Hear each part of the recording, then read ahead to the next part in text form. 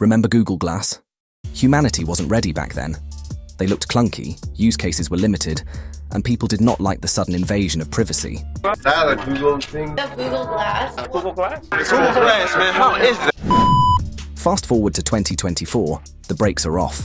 AI is taking over the world, privacy does not exist anymore, and Apple has made augmented reality, or AR, cool and mainstream. Their latest hit, the Apple Vision Pro, is the hottest thing on the block. Well, at least as long as nobody sees you using it, this is where things get weird. You see, Apple Vision Pro, as good as it is, is built for indoor usage.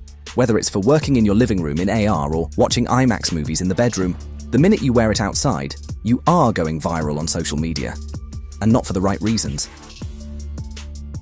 Meta is trying a different approach with normal looking glasses. However, the Meta Ray-Bans are just a glorified camera on your face with an AI app that still feels like a gimmick. So, the question remains. Is there a way to give yourself an actual AR advantage in real life while being discreet about it? Well, Brilliant Labs, a startup based in Singapore, decided that there is indeed a way. The Google Glass way featuring ChatGPT OpenAI technology. Introducing Frame, the AI glasses that will change the world as we know it. With augmented reality, Frame displays video and information right in front of the wearer's eyes, Using the GPT model, the glasses can perform visual analysis of the user's environment. The company calls this, and I quote, AI superpower. The glasses are sleek, discreet, compatible with prescription lenses, and equipped with whisper speakers at the back.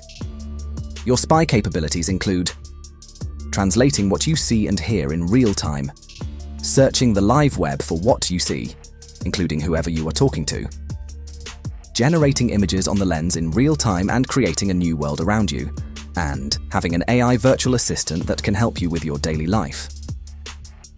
Alright, I admit that most of these actions will still look weird to others. After all, you are having a conversation with your glasses.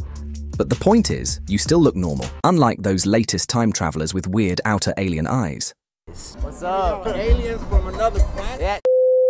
Moving on, Frame will launch at a competitive price of $349. Although these glasses do not have the power and performance of bigger headsets, they are still a good introduction to the world of AR for most users who do not have thousands of dollars to shell out on a fun gadget, hence becoming a contender to Apple and Meta's dominance in the field.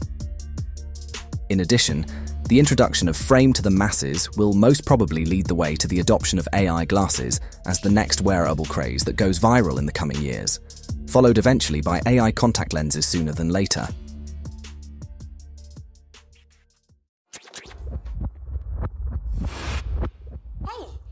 Unfortunately, on the bleak side, this also sounds too familiar from certain episodes of Black Mirror. Will users start recording people's interactions against people's will? Will these kinds of wearables eventually be upgraded with full VR capabilities, resulting in a zombie crowd of people staring glassily into the void? Well, nothing is certain. But one thing is clear there is no turning back now. So we might as well enjoy the ride. Welcome to the future.